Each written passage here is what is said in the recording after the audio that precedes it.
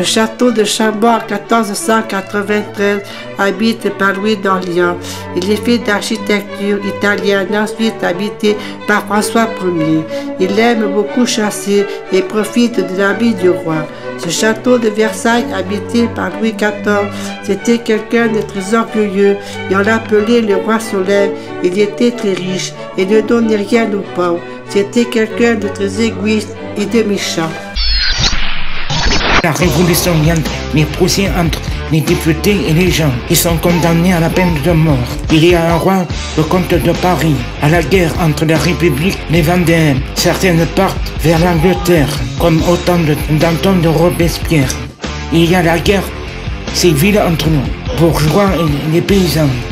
Il y a le roi Louis XVIII, le roi Charles X, à ce temps de, de- désespoir. Heureusement qu'il y a la triple noire, il y a, le procès du roi de la reine de France, des gens aussi d'église.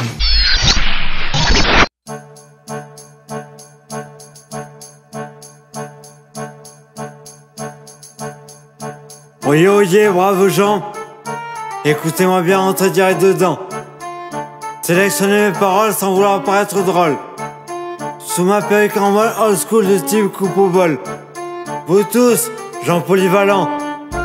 Prêtez-moi votre oreille et écoutez-moi attentivement. Ne vous affolez pas. Vous travaillerez plus pour gagner moins d'argent. Tout en faisant briller mes belles dents. Je m'en tape ça, vous n'êtes pas content.